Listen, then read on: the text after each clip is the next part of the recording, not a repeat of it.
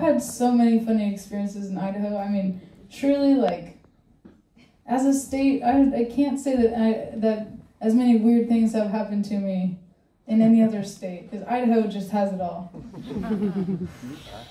and what I love about Idaho is that you can be in one part of it and you have no idea what's in the other parts of Idaho. Like it's so disjointed.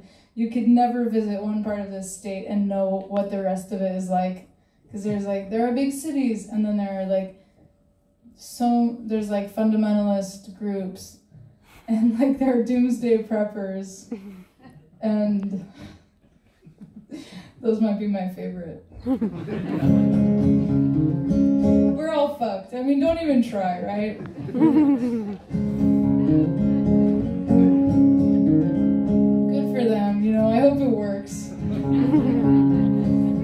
If I knew it right now, I'd sing the Josh Ritter song, The Temptation of Adam.